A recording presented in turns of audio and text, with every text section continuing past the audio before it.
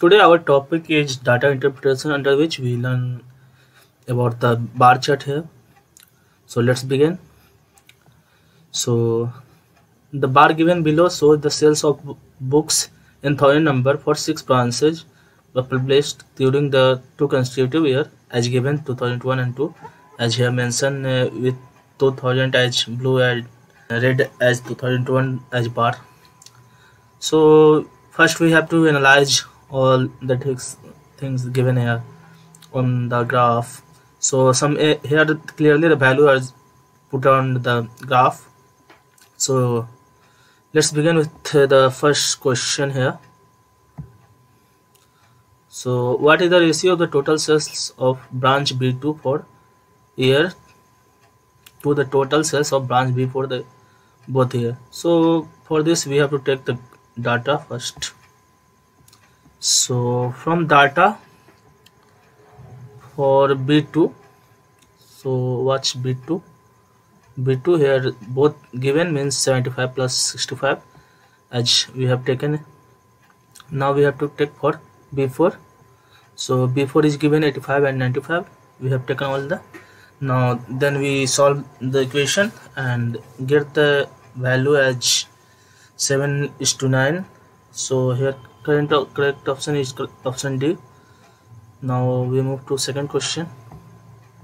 So let's begin with the second question. Today total sales of branch b6 for both the year is what percent of the total sale of branches b3 for both the year? For this data is required. So here given b6 and b3 so both means we have to take both the data red and blue both the column. So for b6 we came to b6 here b6 is given 70 and 80 so we have taken 70 and 80 now we compare how much percent. So now take the value of b3 which is given 95 and 110 so here we have to find how much percent uh, b3 is b6 is how much percent of b6 B, b3 is how much percent of b6 so we multiply with the 100 and get the required answer as 73.17 so now from the option current option is c. So move to the third question. So for this we have to take the data. Data is here for what percent of the average sale of the branch B1, B2, B3 and in 2001 is average sale of B1, 3 and 6 in 2001. Here we have to mention here to take 2001 means 2001 is mentioned as red graph and 2000 is mentioned as blue. So for 2001 part for first object the 2000 part means b1 b3 and b6 b1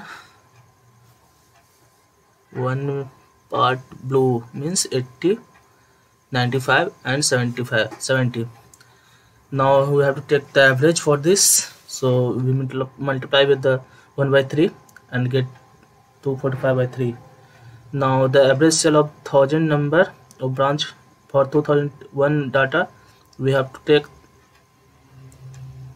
data means for 2001 the value is 105 65 and 110 so we get 280 by 3 now the required percent will be we divide equation first by equation 2 means 245 by 3 divided by 280 by 3 and for percent we multiply with 100 so we get uh, after solution part we get answer as 87.5 which main correct option is option D.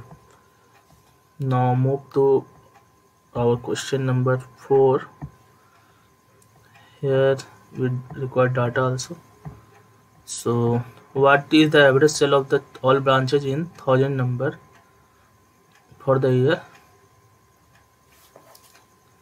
2000 means we have to take all the average means here six data are given. So given for 2000 we take the all value of 2000 where 2000 is in blue part. So 80 75 95 85 75 and 70 we have to take the summation of all and for average part 6 is given. We divide it by 6 so we get answer as 80 and correct option is option b. Let's in the question number 5 here data is required. Means total cell of branch of b1 b3 and b6 together for both year each. Means we have to find for both the year.